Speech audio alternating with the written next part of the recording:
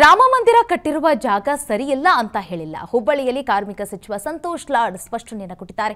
Supreme ಹೇಳಿದ್ದ ಜಾಗಕ್ಕಿಂತ ಹೆಚ್ಚಿನ ಜಾಗದಲ್ಲಿ ನಿರ್ಮಾಣ ಜಾಗದ ವಹಿವಾಟಿನಲ್ಲಿ ಅವ್ಯವಹಾರ ಆಗಿದೆ ಅಂತ ಸಂತೋಷ್ ಲಾಡ್ ಸ್ಪಷ್ಟನೆಯನ್ನು ಕೊಟ್ಟಿದ್ದಾರೆ. ರಾಮ ಮಂದಿರ ವಿಚಾರಕ್ಕೆ ಸಂಬಂಧಪಟ್ಟಂತೆ.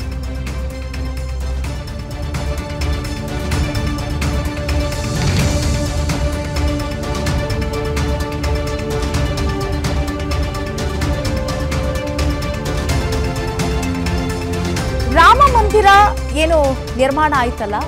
ಆ ಒಂದು ರಾಮ ಮಂದಿರ ಸುಪ್ರೀಂ ಕೋರ್ಟ್ ಕೊಟ್ಟಿರುವಂತಹ ಜಾಗಕ್ಕಿಂತ ಹೆಚ್ಚಿನ ಜಾಗದಲ್ಲಿ ನಿರ್ಮಾಣವನ್ನ ಮಾಡಲಾಗಿದೆ. ಮತ್ತೆ ಜಾಗದ ವಹಿವಾಟಿನಲ್ಲಿ ಅವ್ಯವಹಾರ ಆಗಿದೆ ಅಂತ ಹೇಳಿ ಸಂತೋಷ್ ಲಾಡ್ ಅವರು ಹೇಳಿಕೆಯನ್ನು ಕೊಟ್ಟರು ಆ ಹೇಳಿಕೆ ಸಂಬಂಧಪಟ್ಟಂತೆ ಈಗ ಸ್ಪಷ್ಟನೆಯನ್ನು ಕೊಟ್ಟಿದ್ದಾರೆ ಸಂತೋಷ್ ಲಾಡ್.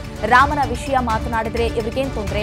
ನಲವತ್ತು ಪರ್ಸೆಂಟೇಜ್ ಕಟ್ಟಿರುವ ಮಂದಿರವನ್ನ ಉದ್ಘಾಟನೆ ಮಾಡಿದ್ದಾರೆ. ಇವರು ಮಂದಿರವನ್ನ ಕಟ್ಟಿ ದೇವರ ಹೆಸರಿನಲ್ಲಿ ಮತವನ್ನ ಕೇಳ್ತಾ ಇದ್ದಾರೆ ಅಂತ ಹೇಳಿದ್ದಾರೆ.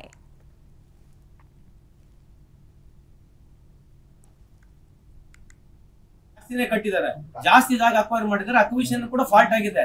ಅದ್ರ ಕೂಡ ಫ್ರಾಡ್ ಆಗಿದೆ. ರಾಮ ಮಂದಿರ ಜಾಗದಲ್ಲಿ ಕೂಡ ಎಲ್ಲಿ ತಗೊಂಡಿದ್ದಾರೆ. ಅದ್ರ ಕೂಡ ವಹಿವಾಟದಲ್ಲಿ ಫ್ರಾಡ್ ಆಗಿದೆ. ಸರಿಯಾದ ತಪ್ಪು ಬಗ್ಗೆ ನೀವು ಚೆಕ್ ಮಾಡಿ ನೋಡ್ರಿ. ಅಲ್ಲಿ ವಹಿವಾಟದಲ್ಲಿ ಯಾರಿಗೋ ಕಮ್ಮಿ ರೊಕ್ಕದ ಕೊಟ್ಟು, ಜಾಸ್ತಿ ರೊಕ್ಕದ ತಗೊಂಡು ಏನ್ ಜಾಗ ಇದೆ? ಆ ಜಾಗ ವಹಿವಾಟದಲ್ಲಿ ಕೂಡ ರಾಮ ಮಂದಿರ ಕಟ್ಟಿರುವ ಜಾಗ ಸರಿಯಿಲ್ಲ ಅಂತ ಹೇಳಿಲ್ಲ. ಹುಬ್ಬಳ್ಳಿಯಲ್ಲಿ ಕಾರ್ಮಿಕ ಸಚಿವ ಸಂತೋಷ್ ಲಾಡ್ ಸ್ಪಷ್ಟನೆಯನ್ನು ಕೊಟ್ಟಿದ್ದಾರೆ. ಸುಪ್ರೀಂ ಹೇಳಿದ್ದ ಜಾಗಕ್ಕಿಂತ ಹೆಚ್ಚಿನ ಜಾಗದಲ್ಲಿ ನಿರ್ಮಾಣ ಜಾಗದ ವಹಿವಾಟಿನಲ್ಲಿ ಅವ್ಯವಹಾರ ಆಗಿದೆ ಅಂತ ಸಂತೋಷ್ ಲಾಡ್ ಸ್ಪಷ್ಟನೆಯನ್ನು ಕೊಟ್ಟಿದ್ದಾರೆ.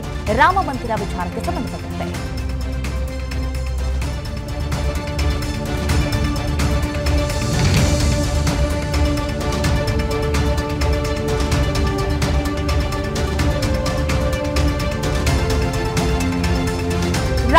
ಮಂದಿರ ಏನು ನಿರ್ಮಾಣ ಆಯ್ತಲ್ಲ?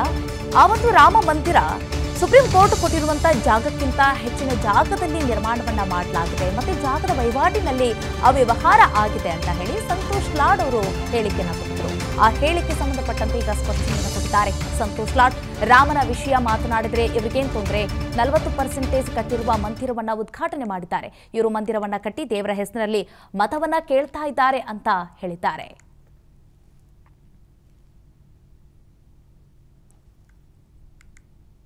ಜಾಸ್ತಿನೇ ಕಟ್ಟಿದ್ದಾರೆ. ಜಾಸ್ತಿ ಜಾಗ ಅಕ್ವೈರ್ ಮಾಡಿದ್ದಾರೆ. ಅಕ್ವಿಷನ್ ಕೂಡ ಫಾಲ್ಟ್ ಆಗಿದೆ. ಅದ್ರ ಕೂಡ ಫ್ರಾಡ್ ಆಗಿದೆ. ರಾಮ ಮಂದಿರ ಜಾಗದಲ್ಲಿ ಕೂಡ ಎಲ್ಲಿ ತಗೊಂಡಿದ್ದಾರೆ. ಅದರ ಕೂಡ ವಹಿವಾಟದಲ್ಲಿ ಫ್ರಾಡ್ ಆಗಿದೆ. ಸರಿಯಾದ ತಪ್ಪು ಬಗ್ಗೆ ನೀವು ಚೆಕ್ ಮಾಡಿ ನೋಡ್ರಿ. ಅಲ್ಲಿ ವಹಿವಾಟದಲ್ಲಿ ಯಾರಿಗೋ ಕಮ್ಮಿ ರೊಕ್ಕದ ಕೊಟ್ಟು, ಜಾಸ್ತಿ ರೊಕ್ಕದ ತಗೊಂಡು ಏನ್ ಜಾಗ ಇದೆ? ಆ ಜಾಗ ವಹಿವಾಟದಲ್ಲಿ ಕೂಡ ಅನುಕ್ಷಣದ ಸುದ್ದಿಗಳಿಗಾಗಿ Vistara news YouTube channel subscribe ಮಾಡಿ. ಹೊಸ ಸುದ್ದಿಗಳ ನೋಟಿಫಿಕೇಶನ್ಗಾಗಿ ಬೆಲ್ ಐಕಾನ್ ಕ್ಲಿಕ್ ಮಾಡಿ. Latest W dot Vistara news dot com ವೆಬ್ಸೈಟ್ಗೆ ವಿಸಿಟ್ ಮಾಡಿ. ಅಂಗೈಯಲ್ಲೇ ಜಗತ್ತಿನ ಸುದ್ದಿ ತಿಳಿಯಲು Vistara news Kannada app download ಮಾಡಿ.